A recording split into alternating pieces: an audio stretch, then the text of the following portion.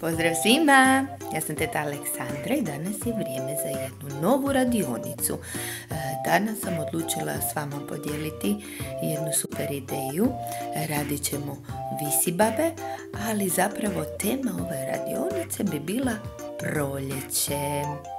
Pa hajmo vidjeti sada što bi nam sve bilo potrebno za ovu našu radionicu.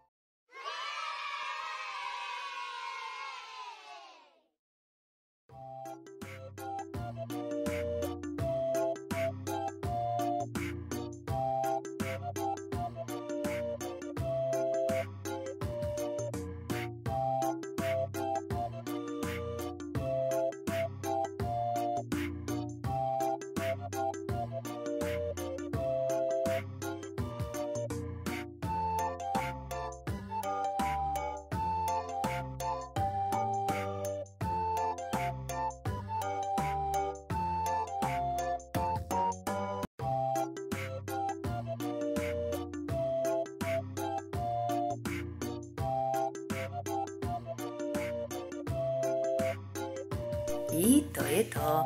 Ja sam na svoj rad odlučila nacrtati pčelice, ali vi možete nacrtati bilo koje kuce, bubamare, mrave, gusjenice ili prekrasne leptire u šarenim bojama.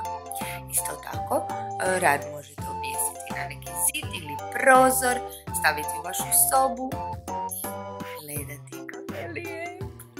Lijepi pozdrav svima, uživajte!